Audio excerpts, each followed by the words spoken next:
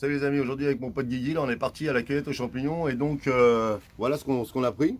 Donc avec ça on va faire une petite omelette, Euh, je vais vous montrer comment je fais une petite omelette de, de cèpe. Un boulet roux là. Alors ça il n'y a que la tête qui se mange, hein. le pied ça sert strictement à rien. On mange que la tête, ça noircit un petit peu à la cuisson mais c'est plutôt pas mal quand même. Donc voilà, ça c'est un cèpe classique, tout simple. C'est pas, voilà, ça c'est le cèpe, c'est ce qu'il y a de plus commun en général dans, dans nos forêts. Ça c'est vraiment le cèpe de Bordeaux, le magnifique cèpe de Bordeaux. Le cèpe de Bordeaux c'est vraiment magnifique, c'est beau. Ça donne envie. Et bon, je vous ai montré le roux, donc voilà. Là, on n'a que trois variétés, mais c'est plutôt pas mal. Donc pour le nettoyer, rien de plus simple. On prend son petit couteau. Bon, normalement, on le fait dans les bois, mais là, c'était pour vous faire la vidéo simplement ici. On retire les parties euh, qui servent à rien. D'ailleurs, c'est mieux de laisser dans les bois pour aussi aider à la repousse. Clac. La petite partie là, on gratouille. Simple, vous voyez. Je ne prends pas trop la tête. Je retire vraiment les parties un peu noires. Voilà, s'il y en a un petit peu sur le dessus, on gratouille là simplement comme ça, on s'embête pas. Bon là j'ai pas de sopalin avec moi, mais sinon on prend un sopalin et on l'essuie bien. Bon bah voilà, on y est là, on va préparer la fameuse omelette au cèpe de Bordeaux. Donc vous voyez, c'est quand même des très beaux cèpes, ils sont superbes, ils sont magnifiques. Donc ça va aller très très bien. Alors pour ça on a besoin de quelques cèpes bien entendu. Pour une omelette d'une personne, il y a besoin de 3 œufs. Un petit peu d'ail ici. Une pointe d'huile d'olive, j'ai mis une pointe de beurre aussi là comme vous pouvez voir. En fait le beurre ça permet de nourrir le champignon plutôt que euh, l'huile, ça fait que simplement frire. Et on a mis de l'huile et du beurre pour éviter que le beurre noircisse. Et enfin, un petit peu de persil qu'on était prendre dans le jardin, là, tranquillement. Donc à la base, je vais le faire avec mon pote Guillaume, avec qui j'ai cherché, chercher les champignons, mais malheureusement, il n'est pas là. Du coup, là, je vais faire ça avec ma soeur. Donc euh, tout d'abord, le champignon. Alors vous voyez, moi, personnellement, je coupe direct en deux comme ça. Vous voyez, il est bien blanc, il est magnifique, il a une belle couleur, il est superbe, il n'est pas vérolé. Par contre, moi, j'ai tendance à retirer ça. C'est quelque chose que j'aime pas trop dans les champignons. Alors quand ils sont blancs, je les mange, mais quand ils sont un petit peu jaunes, comme ça, je les mange pas souvent. Je les retire simplement comme ça, avec le bout du doigt. Et surtout, ce que j'ai oublié de vous montrer, parce que celui-là je l'avais fait un petit peu avant, je n'hésite pas à essuyer le chapeau du champignon pour retirer les excès de, terre ou peu importe. Une fois qu'on a fait ça, je le coupe en quartier, tout simple. Donc au quartier comme ça. Alors il n'en faut pas beaucoup hein, pour une omelette. hein. Deux petits champignons comme ça, ça va aller largement, ça sera largement suffisant.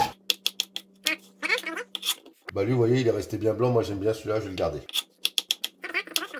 Pas grand chose à faire. On va laisser fondre ça tranquillement. Et ben là, on va se préparer l'omelette quand même, hein, simplement. Alors pour ça, les trois œufs. Surtout casser l'œuf du premier coup. Ça permet pas de laisser tomber de coquilles dans le bol. Vous voyez, c'est clair, c'est propre. Une pointe de sel. Une petite pointe de poivre. On mélange tranquillement comme ça. Voilà, ça suffit largement. Ah oui, alors, faut savoir une chose sur le cèpe, c'est que c'est quelque chose, il, il- en réalité, il a très peu d'eau de végétation, lui. Donc, il va très très peu réduire. C'est pour ça qu'il n'a pas besoin de beaucoup. Le là, c'est bien chaud. Vous voyez, là, le, beurre et l'huile d'olive, là, il commence à bien mousser. Ça commence à être sympa. Bah, je vais y mettre mes deux petits cèpes. Moi, je vais même pas mettre les deux cèpes entiers, d'ailleurs. Là, ça va suffire largement. Voilà. Et on mettra le persil et l'ail vers la fin. Pour une gousse d'ail, là je l'ai déjà épluché, je la coupe en deux, je retire le germe.